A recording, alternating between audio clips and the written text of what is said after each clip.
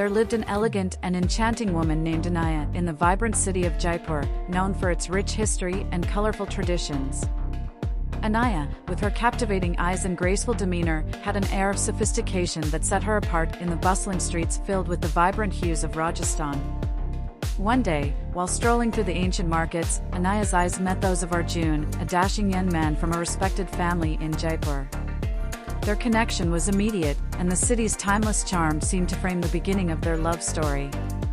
Arjun, captivated by Anaya's elegance, approached her with a bouquet of vibrant Rajasthani flowers, symbolizing the start of a blossoming romance. As their love deepened, Anaya and Arjun found solace in the city's majestic palaces and serene lakes. Their evenings were filled with the melodies of traditional Rajasthani music, and the moonlit nights witnessed the exchange of tender glances and whispered promises. Anaya's love was expressed through the intricate Mehndi designs adorning her hands, each symbolizing a chapter in their enchanting tale.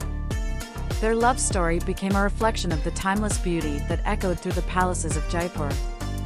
Anaya and Arjun, bound by love and the rich tapestry of their cultural heritage, embarked on a journey where elegance, romance, and tradition intertwined, creating a love story as enduring as the palaces that stood witness to their timeless romance in the heart of Rajasthan.